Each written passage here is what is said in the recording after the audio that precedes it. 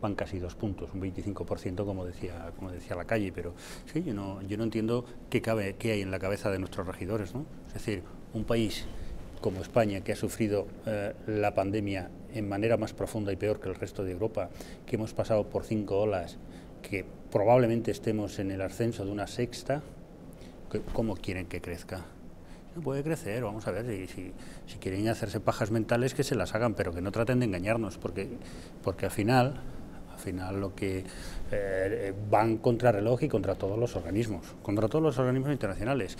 Eh, no encuentro ninguno ninguno que haya dicho el, que haya dicho que van a crecer en la relación que dice el mismo gobierno. ¿no? Y aquí el problema lo vamos a tener muy pronto. Y lo vamos a tener a partir del mes de marzo. Lo vamos a tener a partir del mes de marzo cuando la Unión Europea deje de comprar la deuda a los países de la Unión por el tema del COVID. A ver quién nos compra la deuda a España y a qué, a qué tipo de interés. Ahí es donde está el verdadero test de estrés. Y que no nos engañen. Que no nos engañen que con estos fondos estamos vendidos a Europa estamos vendidos a Europa y que los hombres de negro vienen cada tres meses. De hecho, han estado recientemente en Europa.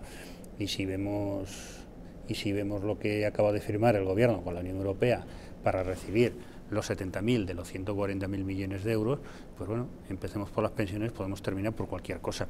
Son 300 páginas de contrato, tampoco sé lo que se puede escribir en 300 páginas, sé que se puede escribir mucho, pero, pero mis entendederas no alcanza a qué puede recoger eso y, que, a qué nos puede comprometer. ¿no? Yo creo que cuando entre la Unión Europea y el Gobierno de España se firma un contrato de 300 folios, no hay interés por, parte, por ambas partes en cumplirlo. Un contrato que hemos conocido porque lo ha hecho público la Comisión Europea, no eh, porque Pedro Sánchez nos haya revelado su contenido, que lo ha mantenido en secreto como si fuera algo claro, pero